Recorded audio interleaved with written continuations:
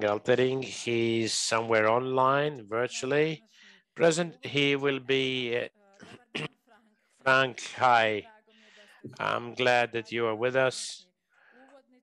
So he's a consultant of the GIZ at this uh, uh, project. he has a consulting career. Uh, after the scientific career, Frank um, this, decided he wants to learn from people with different international experience, which took him to the position of consultant. Uh, uh, special interest is in the area of promoting private sector and economic initiatives on those weaker um, market economies where there are uh, limitations and pressure of, of, politics. This is why Frank we have we have Frank today with us. You know, but um, he wrote really nicely on the page talking about himself. He says like what he learned on these economies is that those limitations very often are incentives for innovations. And this is what we had a chance to see even with these six companies. they are good at finding their way around to uh, function under the restraining environment. They're really innovative and really capable. Now I will uh, hand floor, floor to our um, speaker to share the results uh, about the um, medium size, uh, small and medium sized companies. And that will be a good introduction for our further. Mr. Frank.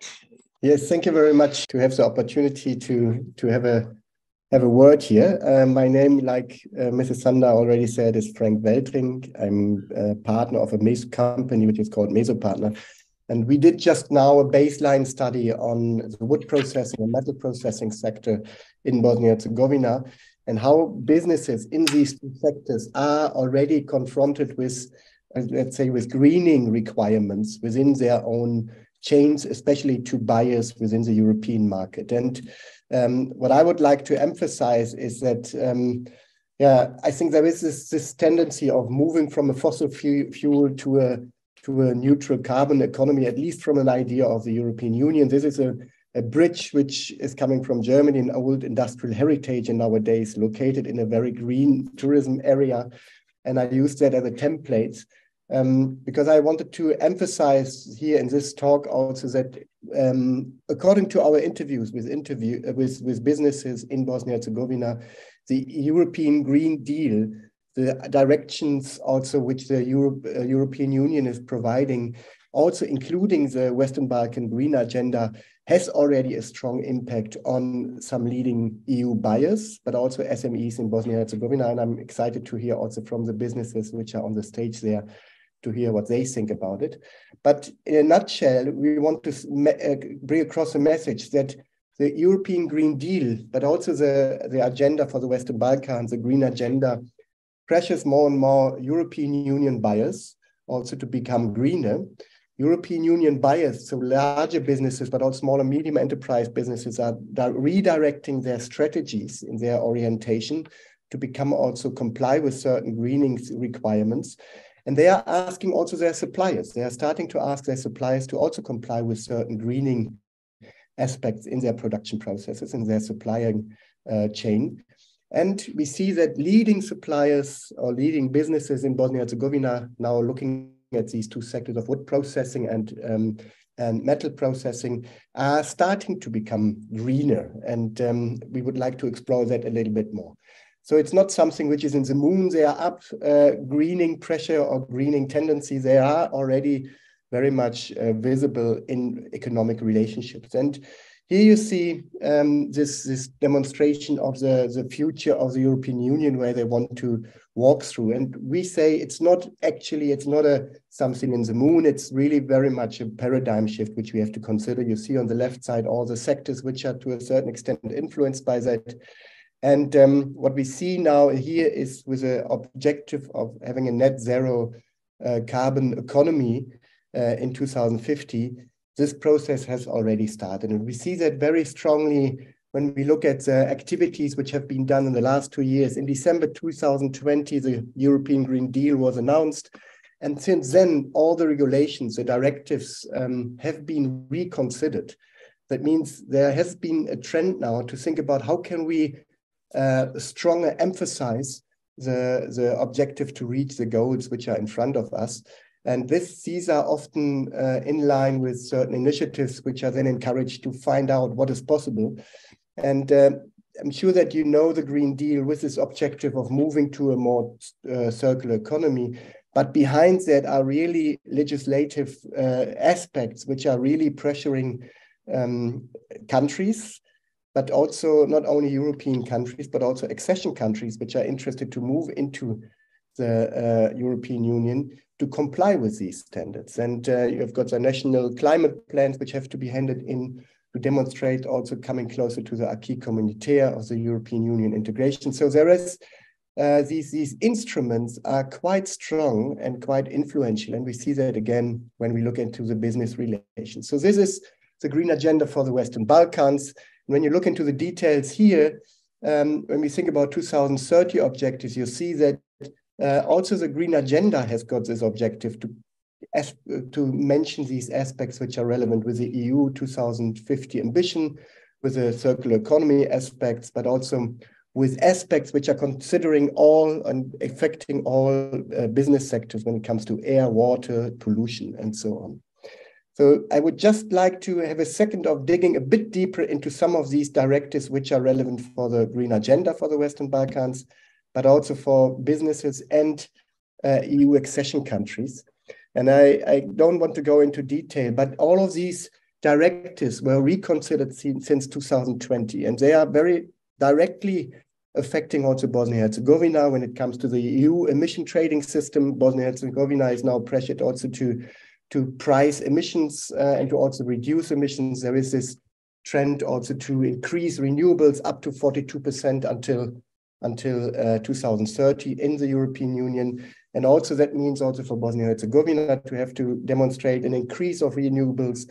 We have got whole, let's say, aspects of, of emission decrease re relevant in, in industrial sectors especially, but also uh, when it comes to hazardous waste. Mrs. Sander, you gave just now this example, making use of hazardous waste. How can that be done? But there is also now within the European the pressure not only to make use of it, also but also to recycle it in a way that it's uh, sustainable.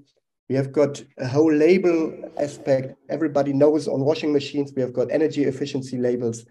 And the idea now within the European Union is to move towards uh, having a kind of green passport for other products, not only looking at energy efficiency, but that consumers also know about what are footprint aspects, what are environmental considerations of different kinds of products, which even considers also furniture and steel products.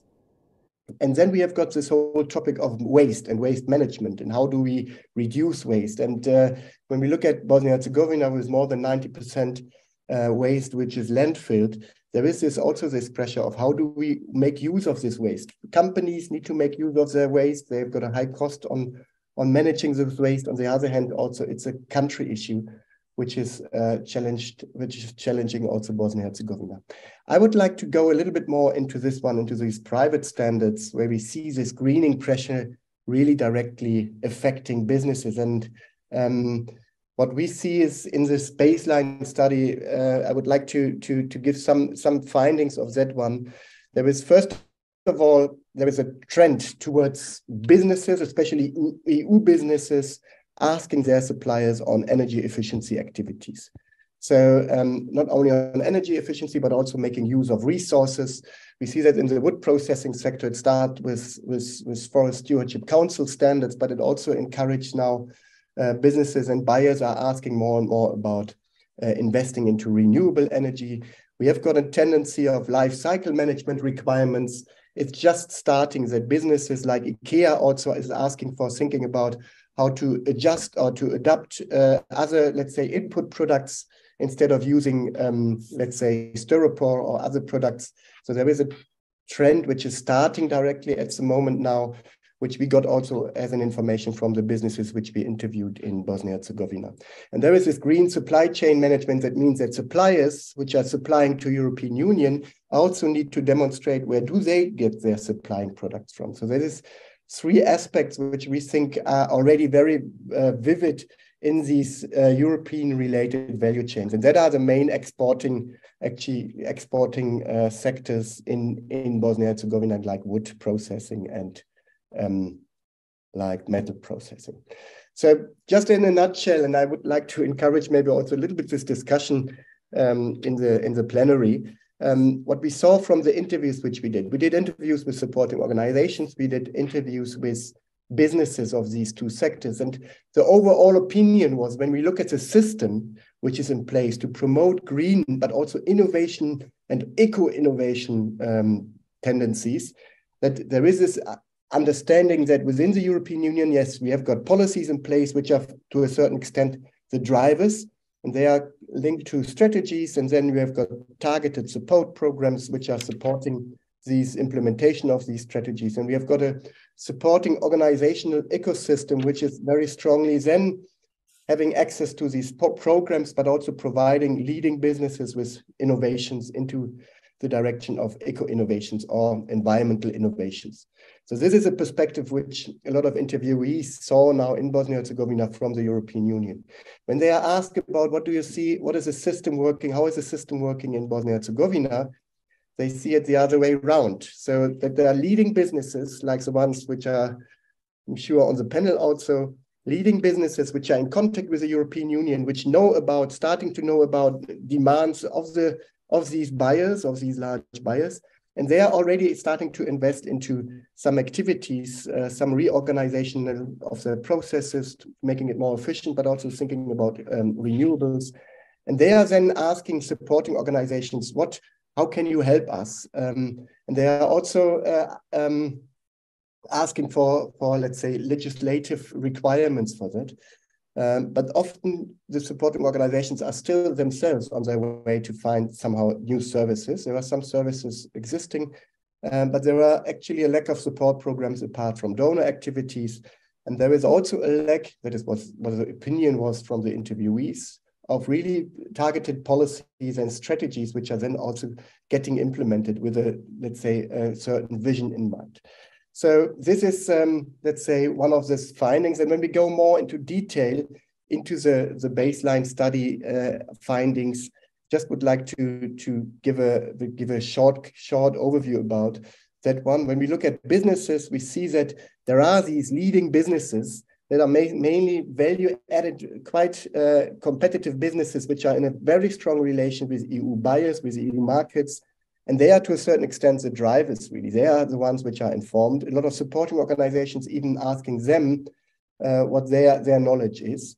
Um, and they're at the moment strongly focusing on, on energy efficiency because they expect higher prices. They are investing into energy efficiency, into digitalization of processes, but also into renewable energy uh, with some challenges to, to feed in their, their, their produced energy in Bosnia-Herzegovina. And they see also that EU buyers are moving in towards asking more than energy efficiency. For example, IKEA has got certain objectives of uh, reaching their renewable energy targets within their own strategy, their own business strategy. And they are starting to ask also their suppliers to think about investments into renewable energy, but it goes beyond even that it moves even into footprint aspects and into life cycle aspects. And um, what these businesses face are really bottlenecks in having access to knowledge in Bosnia-Herzegovina, but also legislative prerequisites in that respect. And um, finally, there is a vision of these leading businesses, I would say, that there is a future of competitiveness within Bosnia-Herzegovina being close to the European market, but that means you need to add value to the product. You cannot export mainly raw materials like uh, woodblocks. Um, and you have to add to that really green requirements, standard requirements to use that also for your own innovation process. When it comes towards the targeted support programs, we see that mainly donors are active here with some first EU funds coming in. Uh, there is a need for, for more strategies which are really then also oriented towards becoming implemented. There is, an, there is a need to overcome certain legislative barriers in different entities, but also in the cantons Uh, so there is a there are delay processes where businesses are quite frustrated about, and there is a need for setting national priorities also into that direct, direction of innovation, digitalization, but also greening, and so providing with that also certain funding activities. When it comes finally to support organizations, we see that a lot of supporting organizations are already offering some some activities like, for example, courses on energy efficiency or standardization efforts um, providing some information about certain standards which are coming in, like energy management standards and so on. There is an overall, there is a search for new services. And I think what is interesting to see is that a lot of supporting organizations are now in exchange with other EU supporting organizations to know about what are the tools, what are the, the let's say, the services which can be offered and what are the requirements for that. I, I like very much this uh, peer-to-peer learning approach in that respect, uh, also promoted by the GIZ through certain study tours but also through direct contact between these organizations. But finally, what we see is there is a lack of a kind of ecosystem approach where supporting organizations are supporting each other, working with each other. And there is this requirement also to, to have more horizontal networking between these organizations. Overall, in, in, a, in the final words, there is clearly a need for a governance leadership in that respect, moving in towards the direction of innovation and greening of production processes. And there the government plays an important role, but also all the organizations of businesses, but as well as supporting organizations. And there is a need for a more systemic effort.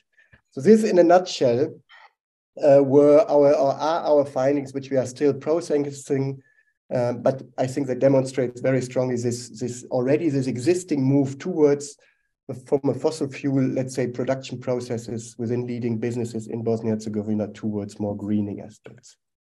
With that, I would like to thank you very much.